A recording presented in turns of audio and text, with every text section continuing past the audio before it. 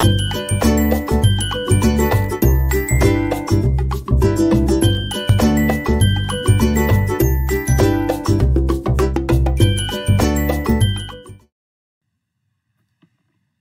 we are on to part two of function of water in foods, and we're going to be thinking about the solvent properties of water and the fact that water is the universal solvent in virtually all food systems, and as such, it has a lot of interesting properties. We're going to think about the colligative properties of solutions and the fact that usually when we've got water in foods, we've got things dissolved in that water, and when we've got things dissolved, it modifies the properties of the water itself. And so, as food scientists, we're constantly manipulating macromolecules in foods. And so, let's think about how we're manipulating water in particular. So, at the end of this video, you will discuss the molecular structures of water within foods under different physical states. As you know, water exists in all three physical states very commonly within foods as a solid in ice form, as a liquid, and as a gas, as steam. And so, it's worth thinking about each of these states. We're going to describe sensible and latent heat as they impact the physical states of water, and we'll describe how molecules in solution interrupt the typical structure of pure water, changing the energy required to change state. We'll define the colligative properties of solutions and explain food applications that take advantage of these colligative properties. So that's a lot of big words, and again, my approach is always to take it uh, take it straightforward, step by step, using really plain language so that everyone can understand where we're heading. So let's jump right in here. So we talked a little bit about this before. Water is a very important solvent. And so we'll talk about what a solvent is in just a few moments. But if you think about it, a solvent really means that it's dissolving stuff. And water dissolves a lot of small molecules. In general, waters that are uh, polar or waters, or pardon me, water's good at uh, dissolving polar molecules. It's very good at dissolving molecules with molecular charge. Water influences structure of large molecules, things like proteins and polysaccharides. And so because of these, uh, the large molecular structure, there tends to be a bit of charge on most large molecules, and as such, it can be part of um, either increasing the solubility or plasticizing those large molecules. Water is part of emulsions, and we will have a different slideshow talking about um, emulsions and dispersions at a later point. And water is also contained in cell structures and tissues, and each of these structures is important to note because we are influencing all of these as food scientists. So, thinking about water, water obviously, as we've discussed, comes in food systems in ice it comes as liquid water and it comes as steam in a, in a number of different uh, process applications. And so it's worth thinking about the structure of all of these. In the case of water in solid ice, you've got, I'm, I, I've got my Wacom board here. So you've got this crystalline lattice forming across these molecules. That's organizational structure based off of the dipole moments. We remember from the previous the previous um, slideshow, we talked about the fact that water molecules, these um, oxygen has a net negative charge. So if I if I'm going to put the dipole negative, and we've got a, a we got a dipole positive on these hydrogens. I'm just going to put a positive there because of that dipole moment in water, it forms these wonderful crystalline lattices in the case of ice. What's happening with liquid water, we still have some of that organization, and so those positives and negatives tend to want to interact with each other, but it's much looser. And then in the case of a gas, the um, the molecules of water have escaped into the atmosphere and they're free floating, but at the same time, they're still interacting with one another. They're just much more loosely aggregated. But we still think about those dipole moments. I'm going to.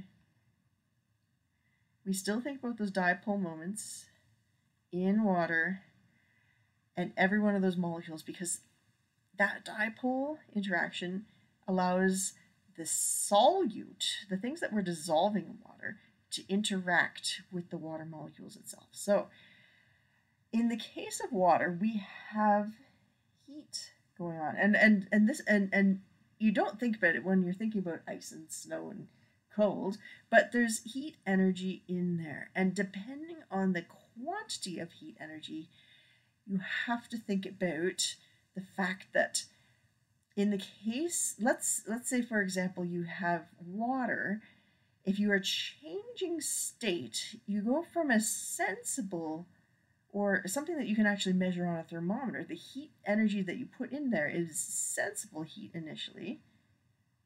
And then if you are in the process of going through a change of state that heat goes into what's called latent heat. And this is the heat that breaks the bonds between if I go back here, it breaks latent heat is the is the energy that breaks these bonds and allows the water to go into this disaggregated state.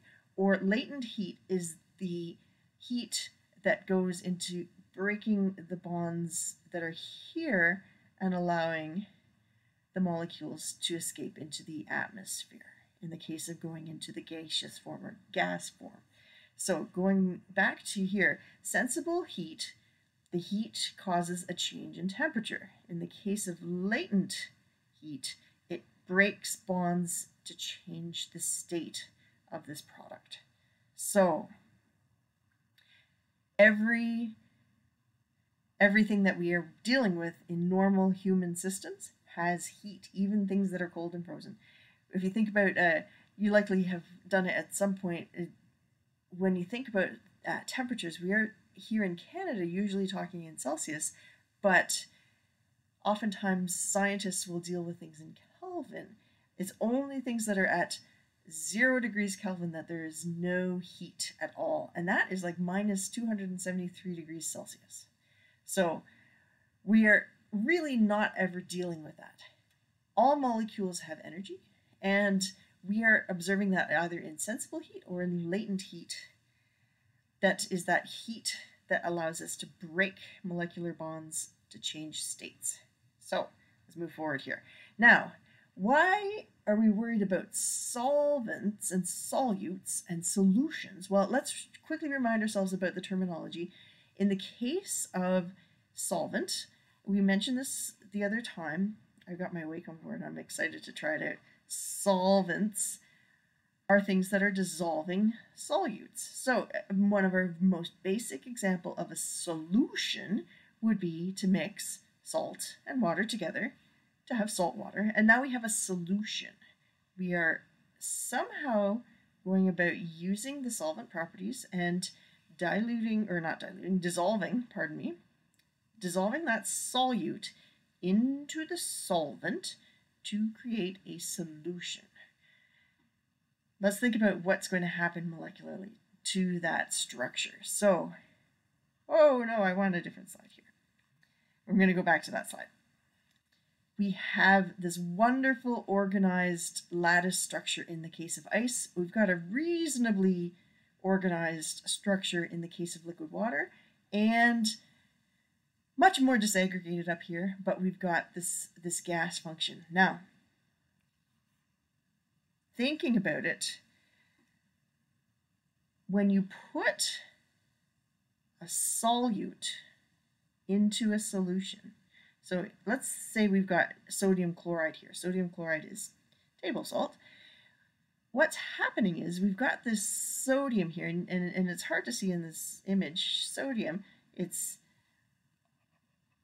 Na positive, that positive is causing the water molecules and their dipole moments to all point in a very discrete direction. And so we start to get this solvation structure occurring within the solution. And so we had gone from this wonderful, very organized situation to a new type of organization that's modifying the properties of the water. Same with the chloride here. So that's chloride. And again, it's changing the dipole moment and its orientation within the water. And so suddenly, how how do we go about breaking the bonds to go between that crystalline lattice here to here, or vice versa, going from liquid water and losing heat, losing latent heat to form that lattice structure here. If it's got different organization, those properties are going to be modified. And that is what we call the colligative properties. So let me jump back. Where did my slide go? So this is a really wordy slide. And let's just walk through this. And I will give you some examples. So the colligative properties of solution. First off, when we have that solute in the solution, it's going to lower the vapor pressure of the solvent. What does that mean? It's going to be harder for molecules to escape from the solution and get into the atmosphere because they're bound into that uh, water of solvation around the solute. It's going to raise the boiling point of the solvent because it's going to take more energy for that molecule of water to escape from the solute. It's going to reduce or lower the freezing point of the solvent. So it's going to be harder to make ice because, again, the solute is disrupting the water's ability to make those lovely lattice structures that otherwise known as ice. Last but not least, this one's the, the, the weirdest one to wrap your head around, but it modifies the osmotic pressure of the solvent. And what this really means is it changes how the water flows across the cell membranes in plant and animal cells. And we do take advantage of this. So let's walk through each of these examples with a little bit more detail. So when we've got that pure solvent, we've got really normalized interaction between the water molecules or whatever the solvent is. And in the case of food, 99% of the time it's water. But the moment we introduce solute into the solution, so salts or sugars, we are interrupting that molecular structure and we are throwing off the energy patterns to be able to form either ice and uh, the crystalline structures, or we are throwing off the patterns for water to be able to escape and evaporate or uh, as part of water activity, or we're seeing the, the change in boiling temperature. So here's, a, here's another diagram to uh, exemplify this. So we've got pure water, and the water is going to predictably, based off of the known energy, it's going to predictably be able to evaporate off.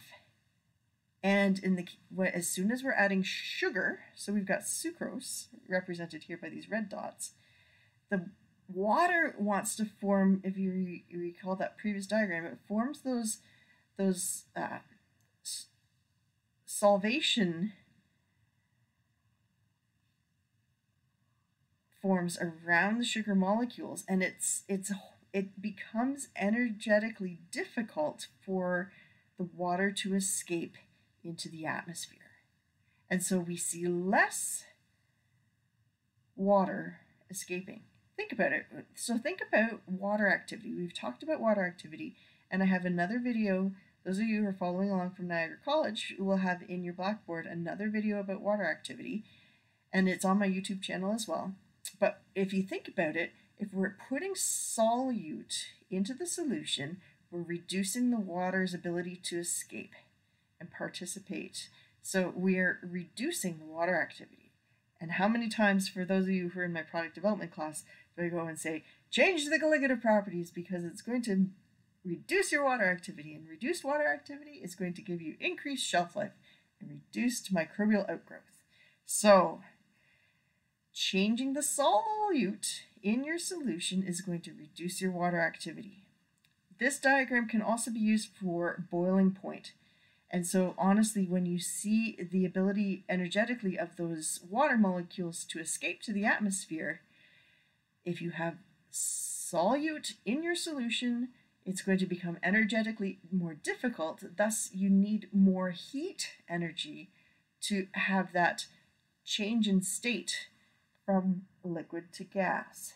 So, we're seeing a boiling point increase. If you remember, those of you who are in the chemistry class, we were boiling sugar to make hard candy, and the water we, we kept saying the sugar's not boiling, the water is boiling.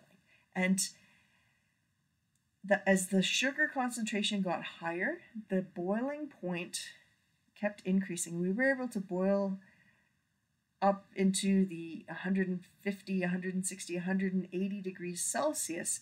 Why? Because as that sugar became more concentrated, the water was interacting even more intently with the sugar and it became energetically even more difficult. So we needed to apply even more heat to get the water off of that solution. Now, here is an example of osmotic modification. Now, in the case of osmosis, we've got what's called a semi-permeable membrane. Animal cells, plant cells, these all have that cell membrane that allows water to flow back and forth. And depending on the osmotic properties, so how much solute do we have in the solution or outside the solution? Is there more solute in, uh, usually what we're looking at is isotonic. That's where it's balanced, it's equal. And here we've got more water outside of the cell than inside. And so you'll note there's there's uh, how do we how do we change this? We can change this by changing the solute. Uh, no, ah, I'm messing this up. In the case of hypertonic, you've got more concentration of solute outside the membrane. So note all that all that particle there is solute. And because all the solute, this uh, solute is high here, and solute is low here, the water travels across the membrane to balance it out.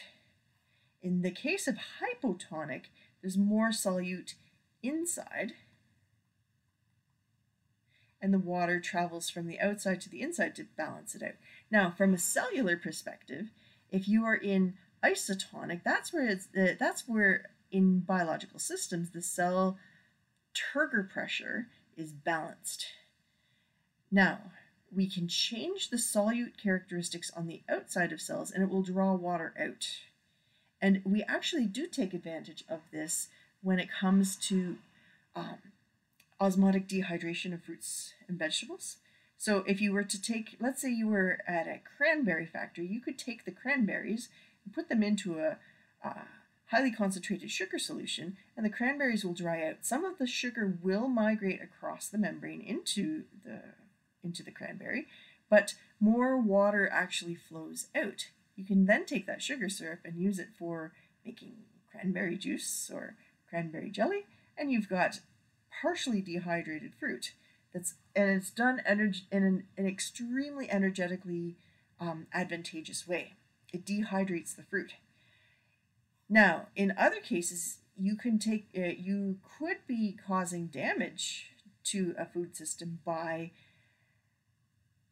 mishandling this. So, for example, in the case of brining or washing meat, oftentimes I hear about um, food processors who want to uh, temper their meat by just running it uh, meat block underwater.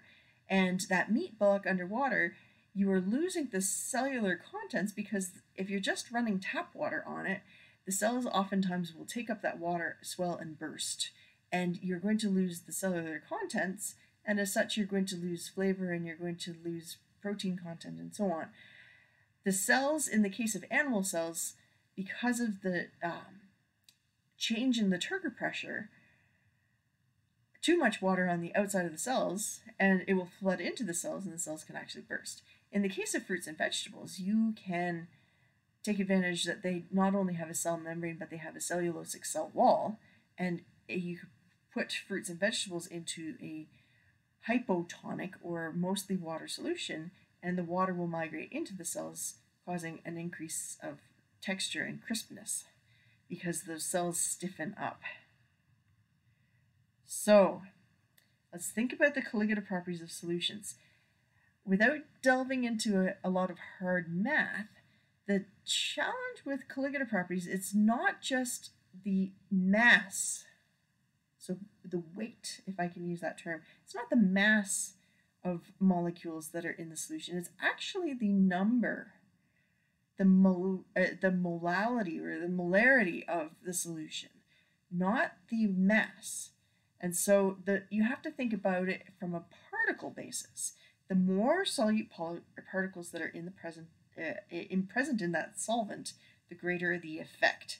So you have to think of moles of dissolved solute, not grams of dissolved solute. Now, this is really interesting to think about because more particles, the greater effect, and we have to think about dissociation factors. So in the case of salts or electrolytes, things like sodium chloride that break apart, you, you could have sodium chloride going in, but in water, it's actually going to dissociate to Na plus and Cl negative. And so we actually have two, two particles in there. In the case of, let's say, calcium chloride, let's walk through this one as well. Calcium chloride is, is actually, it, eh, so calcium is a divalent cation, and then we've got two chloride negative. So we actually here, we have three dissociation factor.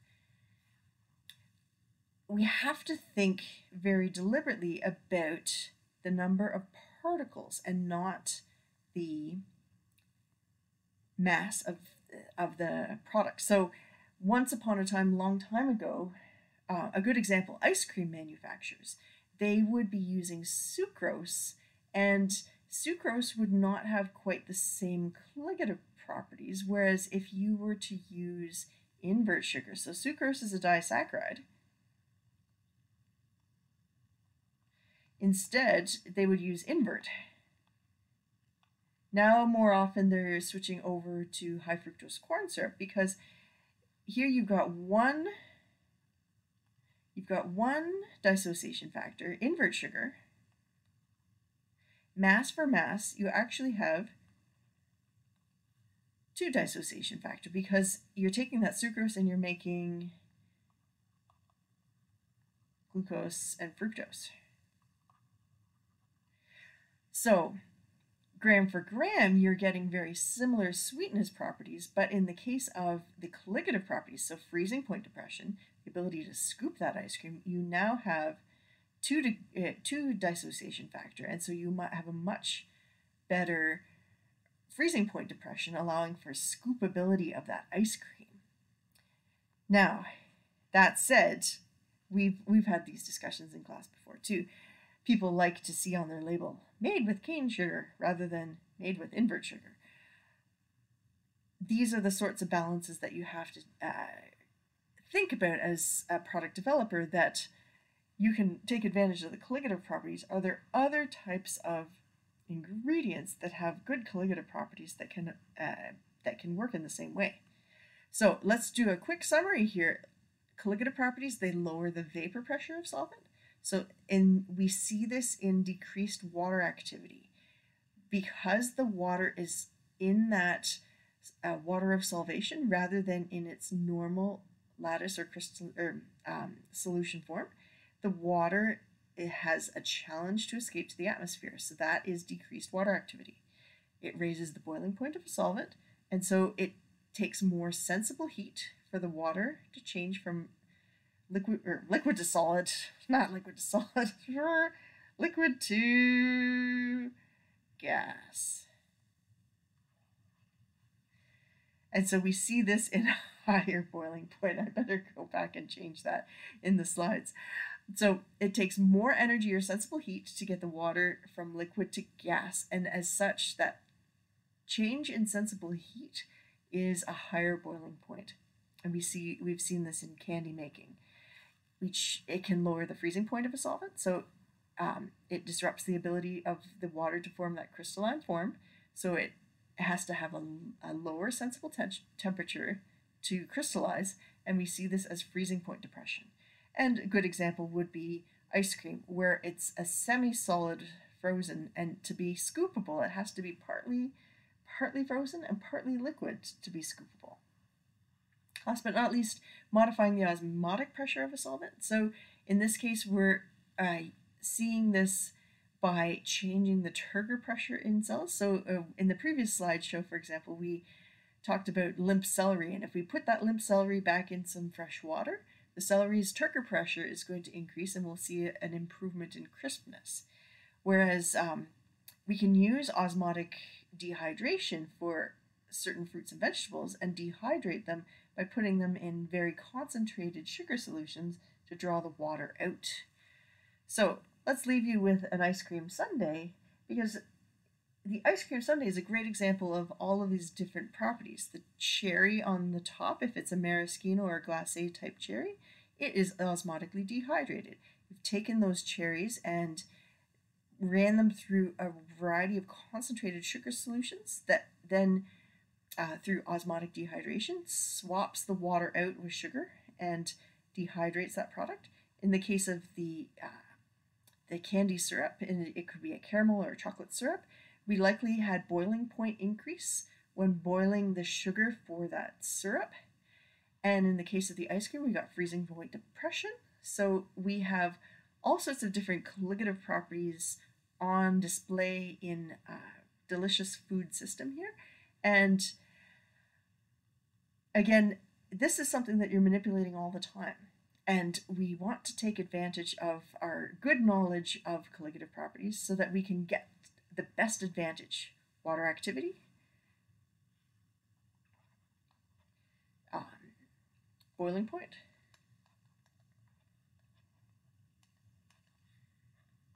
osmotic, point.